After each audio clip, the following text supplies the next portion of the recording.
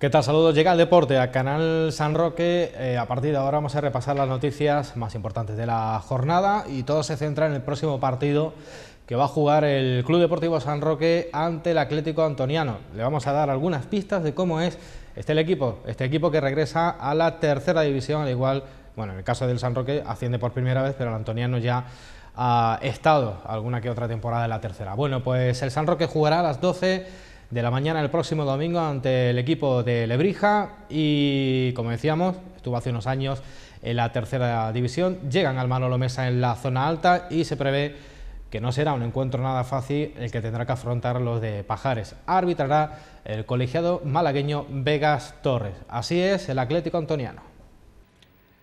El Antoniano, en su regreso a tercera división, después de dos años en primera andaluza, no quiere volver a ser un equipo ascensor y pretende luchar para quedarse en la entidad librijana estaban bastante preocupados con el comienzo del campeonato liguero con tres enfrentamientos seguidos con rivales de altura como el Sevilla C, el Alcalá y el Coria, pero el reestreno en la categoría no ha podido ser mejor. Dos empates y una victoria es el bagaje del equipo rojiblanco que lo coloca en la zona alta de la tabla. El técnico del cuadro sevillano, Antonio Falcón, comenta que después de tres jornadas solo es un hecho anecdótico.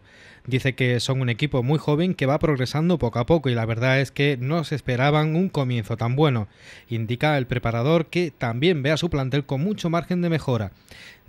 comenta e indica que está muy bien en la parcela defensiva, no les han marcado ni un solo gol y eso ha ayudado a que no hayan perdido ni un solo partido, pero hay que mejorar el aspecto ofensivo. Solo han marcado un tanto en tres jornadas, goles que dice podrían llegar el próximo partido contra el Club Deportivo San Roque, un recién ascendido como el Antoniano y donde el equipo de Falcón podría aumentar su colchón de puntos con una nueva victoria como visitante.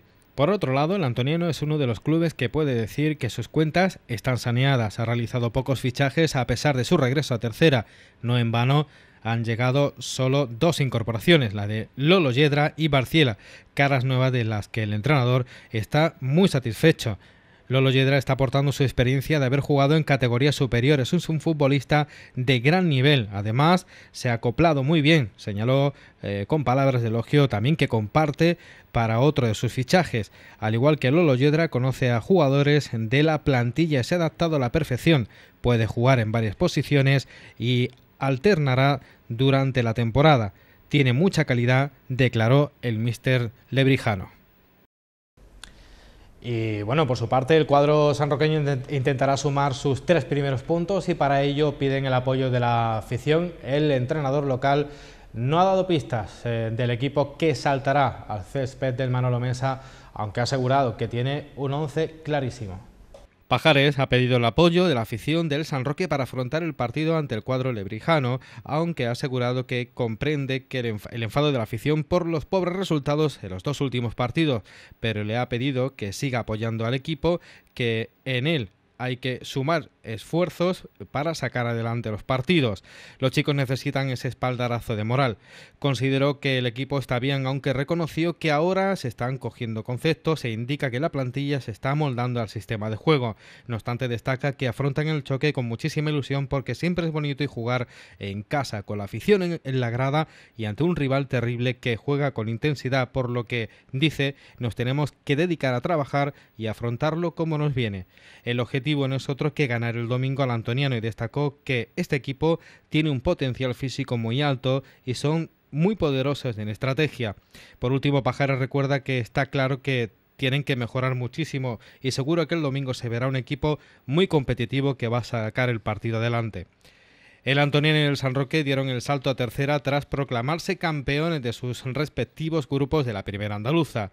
El equipo lebrijano vuelve a una categoría que ya conoce con el objetivo de la permanencia. En la pretemporada se enfrentó al Ceuta con empate a dos goles. El San Roque debuta en categoría nacional dispuesto a disfrutar de la tercera y luchar por la salvación. Bien, pues así lo dejamos, es todo por hoy en cuanto al deporte, pero pueden seguirnos, si así lo prefieren, en nuestros próximos servicios informativos y a través de internet en nuestra página web sanroque.es y multimediasanroque.com.